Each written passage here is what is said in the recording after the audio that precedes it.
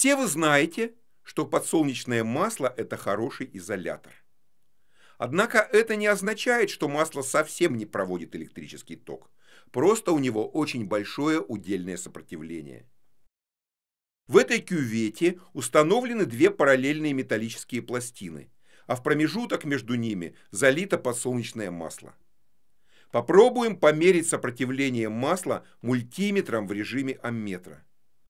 Установим предельный диапазон в 200 мегаом. Включаем прибор Сопротивление масла заведомо больше 200 мегаом. Как же нам его померить?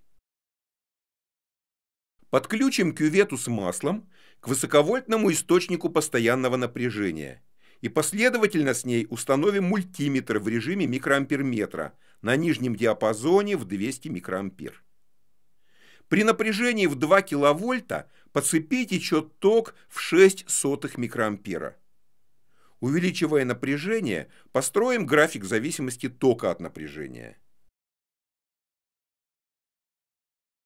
Мы видим, что ток пропорционален напряжению, и значит для масла выполняется закон Ома. Поделим напряжение 10 кВт на ток в 0,3 микроампера и получим сопротивление в 33 гигаома. Но если бы у нас не было высоковольтного источника, как бы мы могли поступить в этом случае? Тут на помощь приходит еще один метод. Подключим параллельно нашему сопротивлению конденсатор. Суммарная емкость этого конденсатора, кюветы и электрометра равна 13 нанофарад.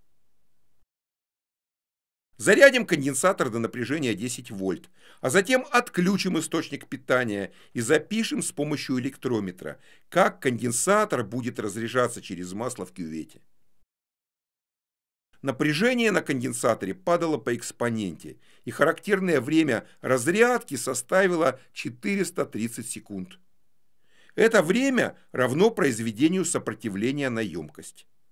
Поэтому для нахождения сопротивления надо разделить время разрядки конденсатора 430 секунд на его емкость 13 нанофарад.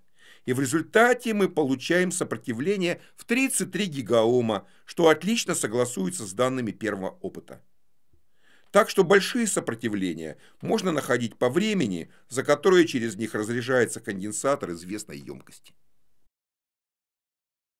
А теперь еще одна простая задачка для расчета.